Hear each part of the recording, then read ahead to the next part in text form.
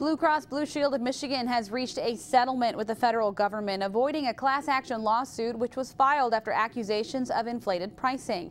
As Ann Perrett tells us, Blue Cross is now notifying anyone who could receive money from the settlement.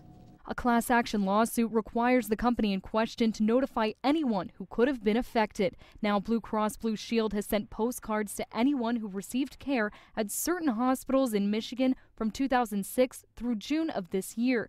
Attorney Stephen Synan says whether you want to be a part of the settlement or not, you have to do something about it. A class member can decide to file an exclusion to exclude themselves from the settlement. That has to be filed by no later than September 24th, 2014. Otherwise, you're opting into the settlement. That requires you to submit a claim form by November 16th.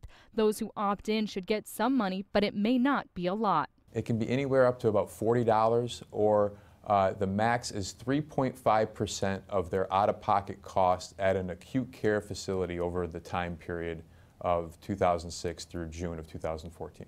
Blue Cross Blue Shield is pleased with the decision. A spokesperson tells us this settlement, the parties agree, is an amicable resolution reached before the court or the jury had decided the merits of either party's legal position. In settling the case, Blue Cross has not admitted any wrongdoing.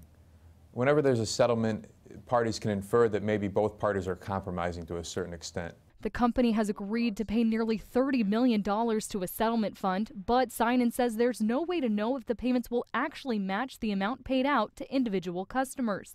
Anyone who is dissatisfied with the money Blue Cross is giving back must exclude themselves from the settlement and then have the option of pursuing their own legal action. In Lansing, Ann Perrett, Fox 47 News. If you'd like to submit a claim, just head on down to our website, fox47news.com. We have a link posted for you there.